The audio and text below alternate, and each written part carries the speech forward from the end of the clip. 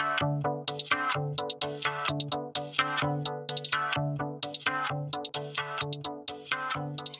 everyone. Welcome back to another episode of The Gestational Diabetic.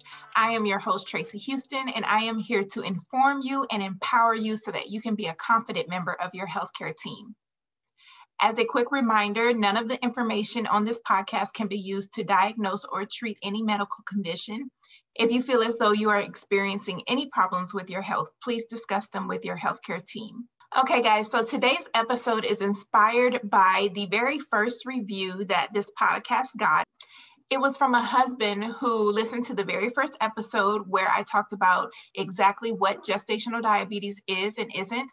And I'll go ahead and read it to you. It says, as a male with a pregnant wife, this helped me understand her, her condition tremendously and he gave the podcast five stars. I think that's awesome. I was so happy to see that a significant other was so interested in what the mom was going through that they decided to research on their own and see how they could be helpful. And I think that's so important for moms to have such a great support system. And so that's what inspired today's podcast episode.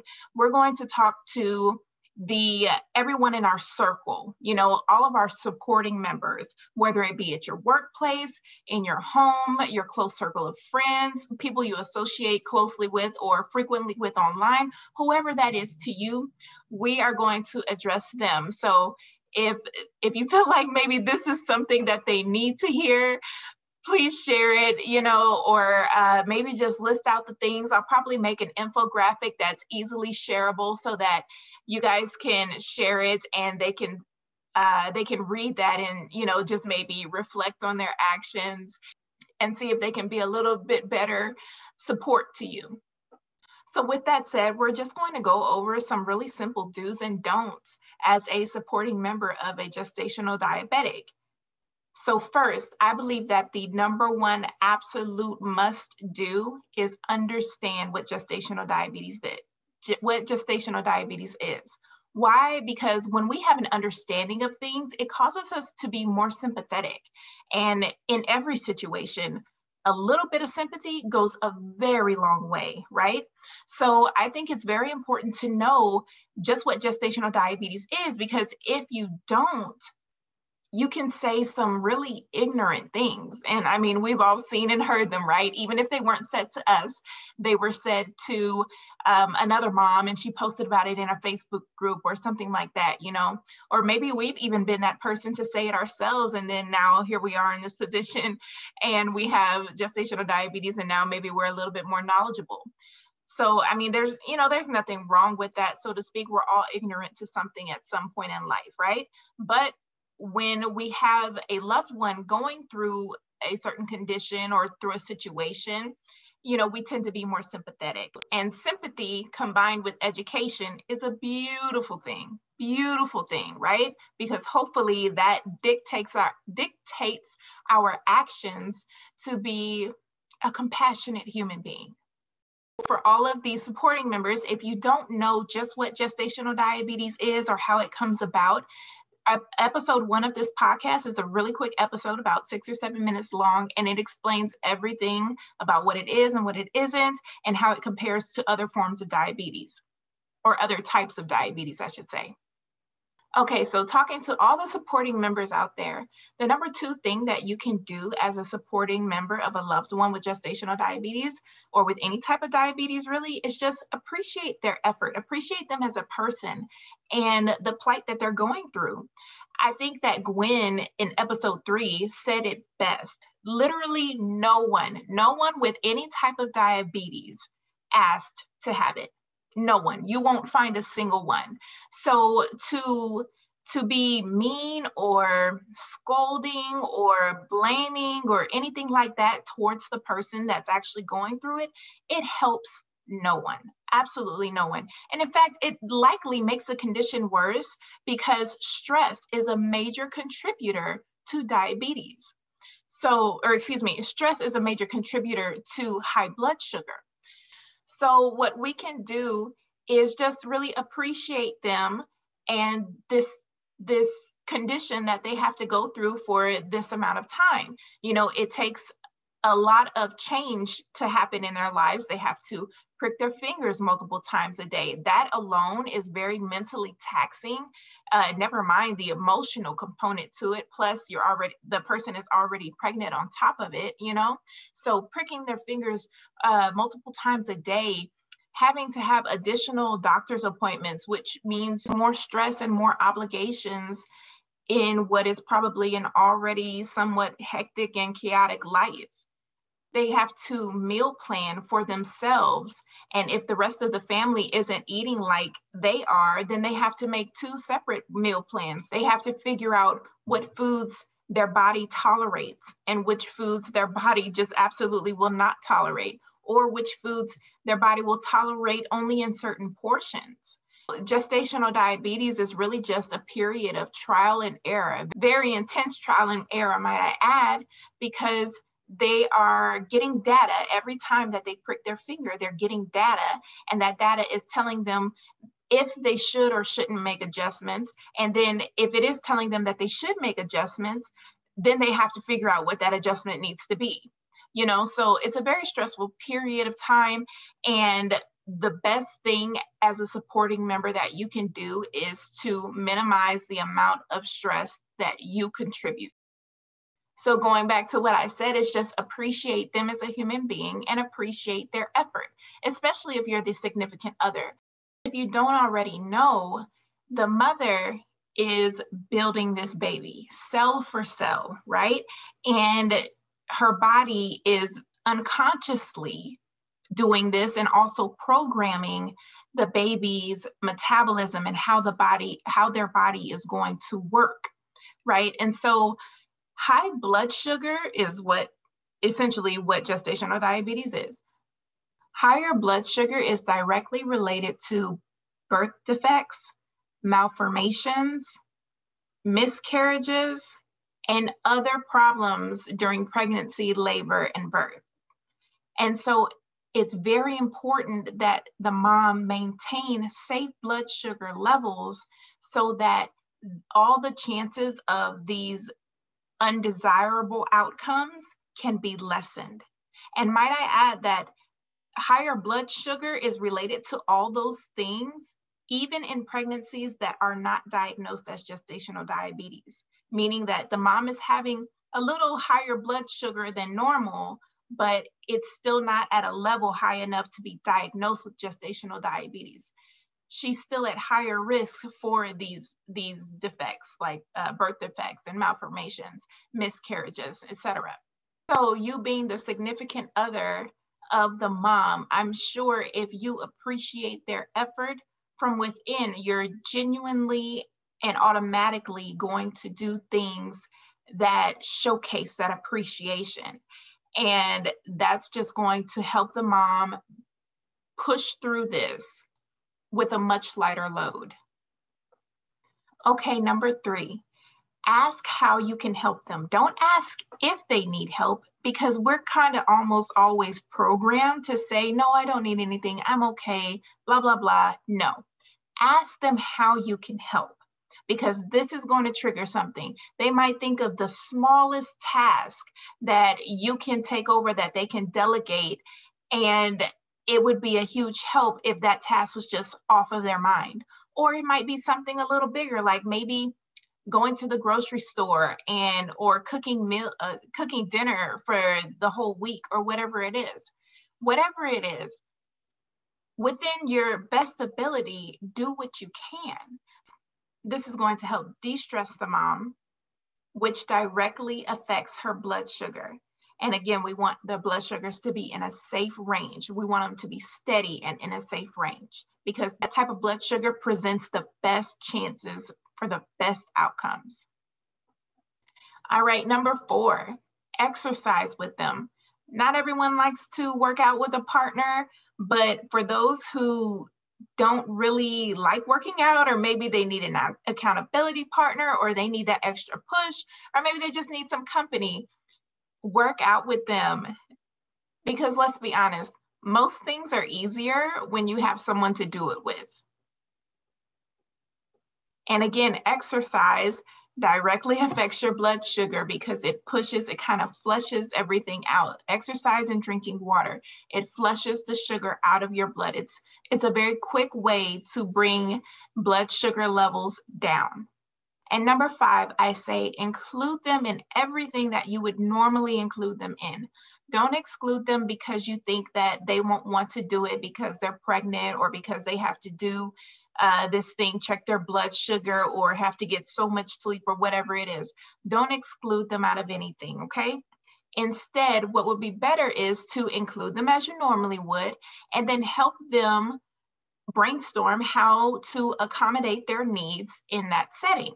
For example, if there is a party happening at a restaurant and the mom, you think the mom might not want to go because she doesn't know what she can eat at that restaurant. Well, here's a simple fix. You get online and you look at the restaurant's menu and you guys, uh, you go over it to see what's within the carb limits and what, what would be good choices for her. Another example that comes to mind is a mom said that her family always goes on this camping type trip during the holidays and she didn't know how she was going to be able to survive the trip for two or three days because you know she had to have certain snacks and certain meals and they require refrigeration and they, she wouldn't be able to eat like she normally eats and like the family normally eats because they would be out you know in the woods where there wouldn't be close access to a restaurant or a grocery store or anything like that. And so she came into the Facebook group asking for suggestions of how to navigate that. So that's something that if you are inviting this person out, you can help them with. Like just ask them. And you know, they won't always have the answers all the time. It might be something they need to think about for a while. And you know what? They might even decline, but that's okay because you still want to make sure that you're doing your part and still including them. But if they do ask for certain accommodations, if it's within your ability, I say do it. Okay, now we're gonna move over to the don'ts. And the first two don'ts, I believe, are directly related to the first do, which is to educate yourself on what gestational diabetes is. If you do that, I feel like the first two don'ts will be really easy to avoid.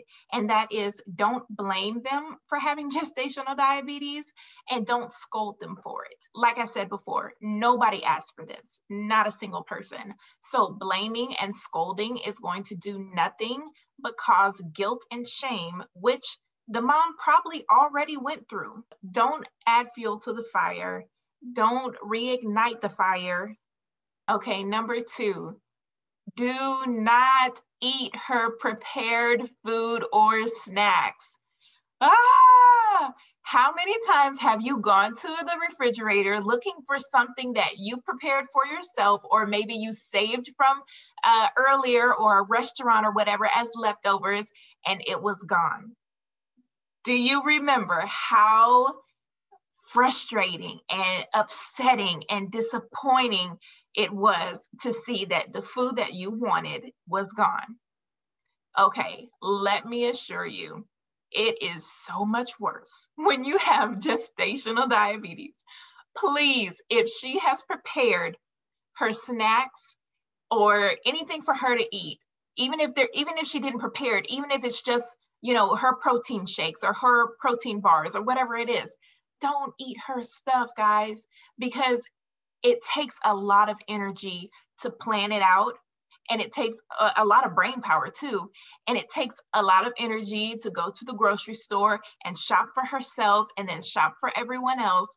So please don't eat her snacks because all it's going to do is frustrate her. And then in the moment if all of her snacks are gone in the moment she still has to eat. With gestational diabetes you have to eat at certain time intervals.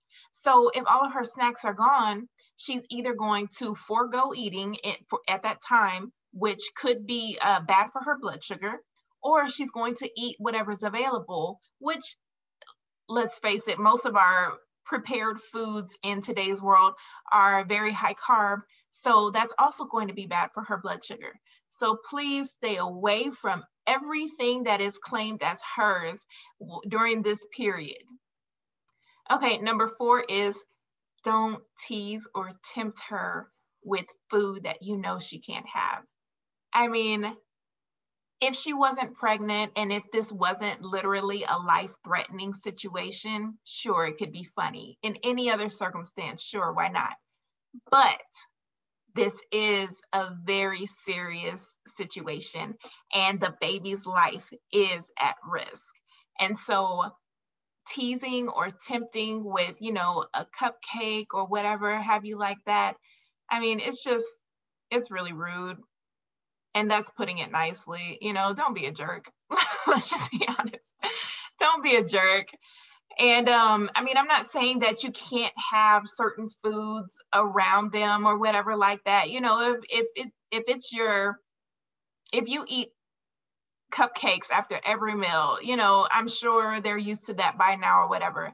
But to purposely intently eat something in front of someone that you know that they're um, that they would probably want any other time but they can't have right now because they're trying to be disciplined just help her out okay that's all i'm asking just help her out and then number five, I would say don't monitor them so closely. And what I mean by that is, you know, you don't have to ask her, is is that on your plate within carb limits? Or, you know, did you check your blood sugar or something like that? That's not necessary and it's a bit overkill and it would add extra stress to her which again like i said we know that extra or that it, um, more stress directly correlates to higher blood sugars.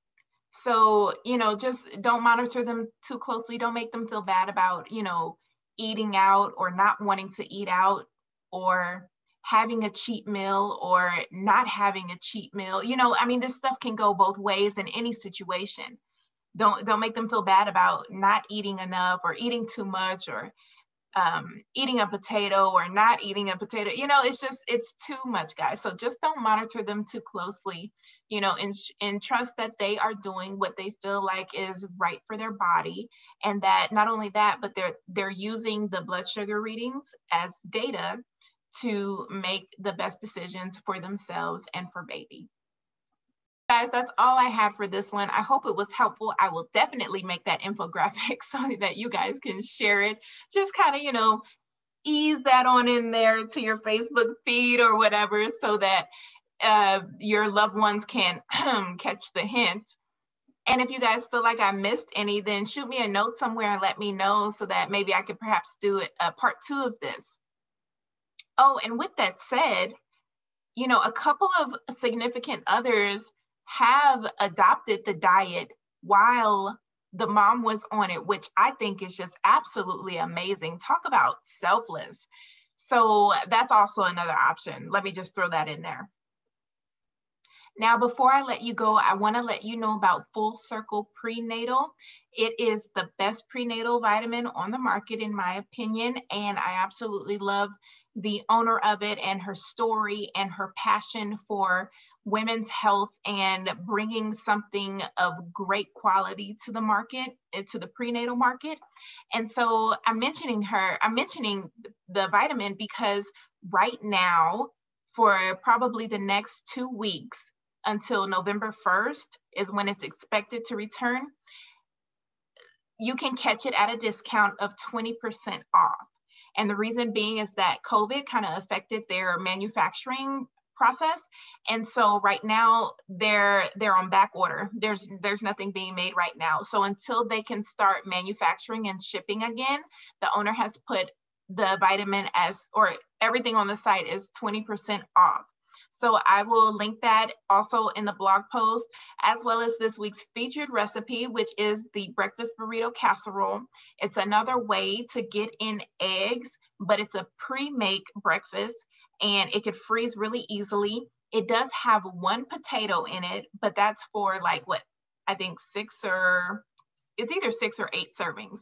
So, you know, you won't get a lot of potato in it. And but if you can't tolerate potato at all, just leave the potato out and use the rest of the ingredients. It's still it's still really delicious. So I will link to all of that in the notes, guys. So until next time, I'll talk to you later.